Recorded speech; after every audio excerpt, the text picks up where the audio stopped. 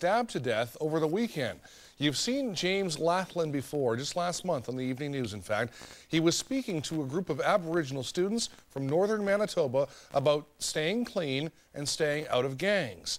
As Global's Jamie Dahl reports tonight, Lathlin believes some of his former gang associates don't like the message that he's been spreading. Down here a couple, here twice, and in the back once. His stomach sliced open by a kitchen knife. The pain is etched on his face. James Lathlin recalls the night he thought would be his last. you know, they were chopping at me with knives, like a horror movie, like watching a horror movie. The former gang member turned youth worker was stabbed numerous times early Saturday morning outside his West Broadway home.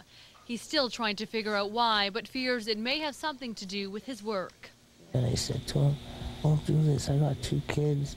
I help out kids, man. Come on, I used to be just like you. I'm making a change, man. I'm contributing to our people. And that's what stopped them from stabbing me. I think from really giving me the last cut for me to die. The 29 year old is a rapper and author. He travels around the province speaking to kids about staying away from drugs and gangs. He says the near death experience has motivated him even more to continue his mission. It's just made me stronger because my stomach was hanging out on the floor. And God obviously wanted me to be here again. Police have arrested two teenagers. They're still looking for more suspects. As the investigation continues, James Lathlin will recuperate in hospital. But it could be a while yet before he's physically able to return to his work.